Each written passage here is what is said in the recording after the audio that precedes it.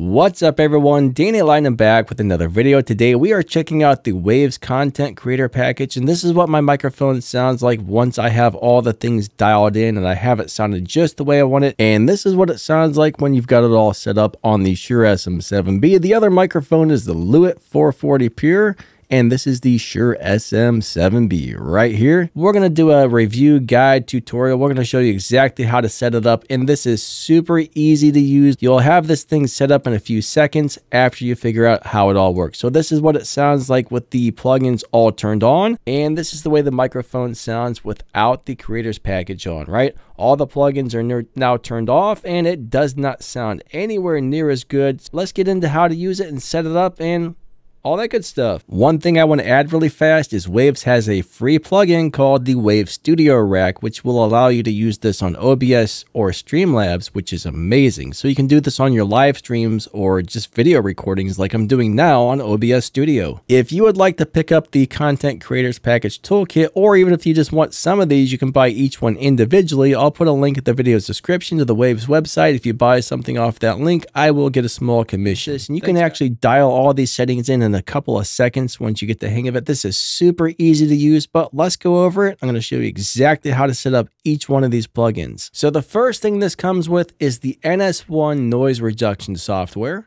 The second thing is the Greg Wells Voice Centric, which is basically a compressor equalizer. I think I hear some saturation and a few other things going on when you use this. And then we have a really awesome limiter. This is a very cool, very unique limiter. I've never seen anything quite like it before, but it's got settings for YouTube, settings for Spotify, just to make sure your, your music or your voice or whatever it is is at the right volume for whatever app you're uploading to, which is amazing. And then finally, we have the Playlist Rider. This is designed for having like three or four people people talking at the same time, and it's supposed to level out everybody's voices. So it'll try and keep all three or four people on your podcast around the same volume. Right now, I'm going to reset all these settings so the volume is going to get quieter. It's like none of these are even on, so we're going to start from scratch and set all this up. The first thing I'm going to show you guys how to adjust is the NS1 background noise remover. So what we're going to do is we're going to grab this little knob and we're going to do a test recording and we're just going to turn this up as we talk and as it gets higher and higher, eventually it's going to get to a point where you start hearing your voice kind of sound like it's cutting in and out, in and out.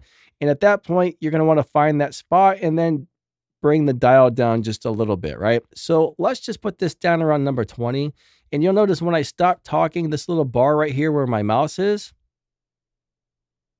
it drops down to about minus 42. That means when I stop talking, it's reducing all background sounds by about 42 decibels and cutting out all the background sounds when I stop talking. So this is really just to get rid of that fan noise, that air conditioner and stuff when you stop talking. So it's great for cutting out some extra noise. You don't want to crank that up any higher than it needs to be. So get it up to where it starts working well. And I also noticed it's removing my breath, which is really cool. So it's not picking up the breathing sounds on the microphone. That is really beneficial because a lot of people absolutely hate to hear those breathing sounds. Now that we have the NS1 noise reducer set up, we're going to move over to the voice centric plugin.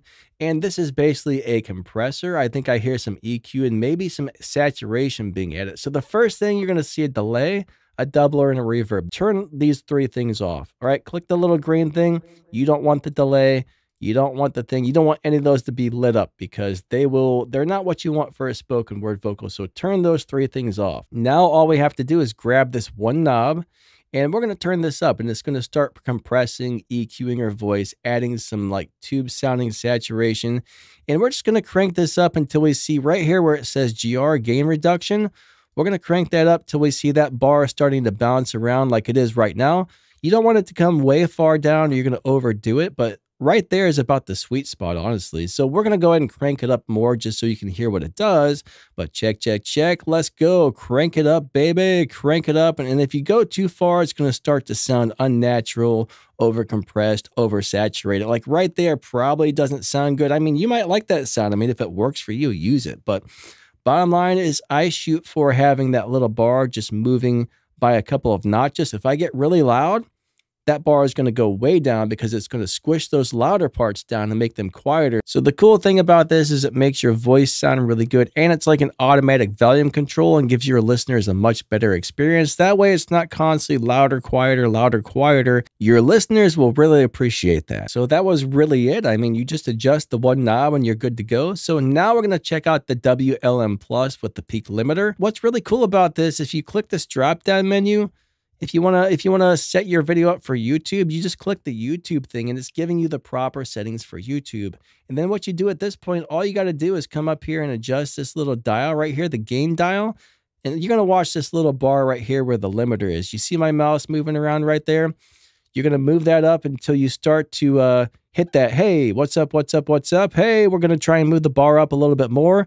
And now you're going to see down on the bottom, you're going to see that little thing here every once in a while when I talk, you're going to see that, which means it's hitting the limiter and it's squishing it down so it doesn't get too loud.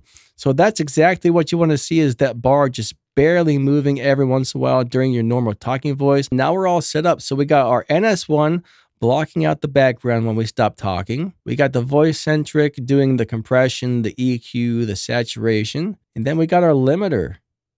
I mean, that's easy peasy. So simple to set this thing up. Now, if you want to adjust this manually, you can come down here. So we're target 14 LUFS.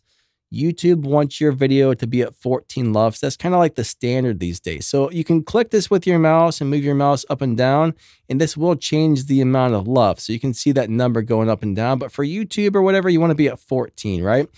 If you want to change the limiter, minus one is normally where you want to be on the limiter. So normally you want to be on minus one or minus two for the limiter and you can adjust that.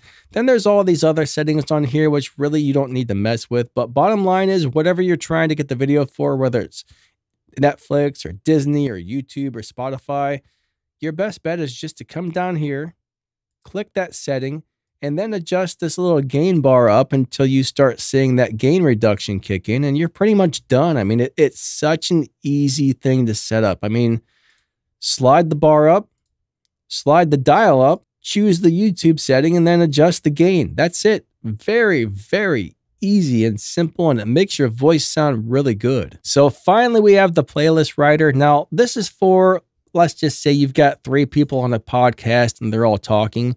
And let's just pretend you've got music playing. The music's setting around 30 decibels, right? Let's just say your music's playing at 30 decibels. The first thing you're going to do is bring this down to just above 30 decibels.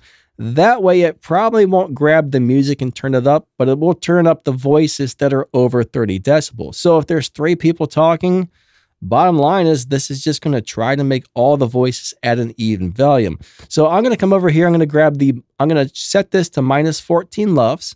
For voice, I'm going to set this to fast. And then you got the tonal character. So what this will try and do is make an equalizer to make everybody's voice sound the same. Like if somebody's got a really high pitched voice or somebody's EQ is really deep, this will somehow try to decide how it wants to EQ everybody's voice so they all sound similar on the EQ. Let's turn this on and try this out. So right now I'm speaking. Now if I move the microphone a little further away, if this is working, my voice should not change volume. So let's move it a little further away. What's up, guys? Hey, what's up? What's up? What's up? Now, if I bring it a little closer, what's going on? What's going on? As you can see that little, you can see this little thing moving here as it's turning me up and down. So it does appear to be working.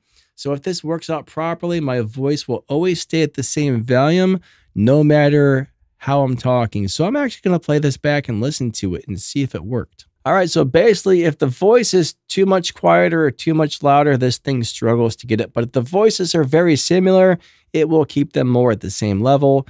Personally, this isn't a part of the plugin package that I'm going to use myself, but some people might find this to be very handy.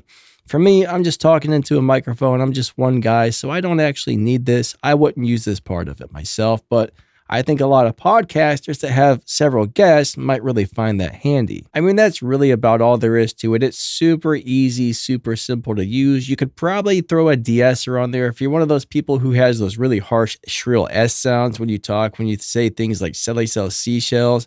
If that S sound sounds really harsh, if it's going to hurt your ears or be fatiguing, fatiguing, you might want to get yourself a nice de-esser. So if you were to get this content creators uh, pack, a good de-esser and a good EQ, That would be kind of cool. Let's go ahead and try this out with the de-esser. We've grabbed the Wave Sibilance de-esser plugin and this should really suppress the S sound. So anytime I say an S like Sally sells seashells, it's not going to remove the S sounds, but it should take away the harshness. It should kind of suppress those S's and make so they don't sound as harsh or as shrill, so they're less fatiguing on your listener's ears. So you might also want to grab something like the Sibilance. A good de-esser is something everybody should have anyways. And it would be nice to have an EQ, but we're not going to get into an EQ today. This plugin doesn't really need it. I mean, it does a pretty good job at EQing it, but if you're really, really picky and you really want to dial it in, you might want to add a nice equalizer.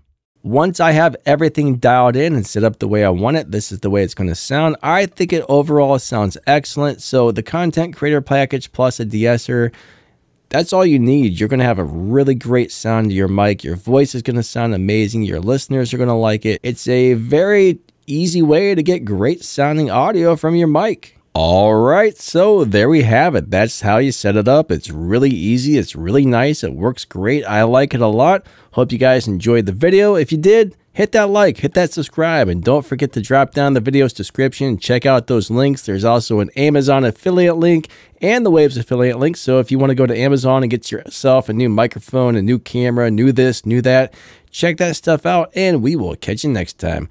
Lightning out. See ya.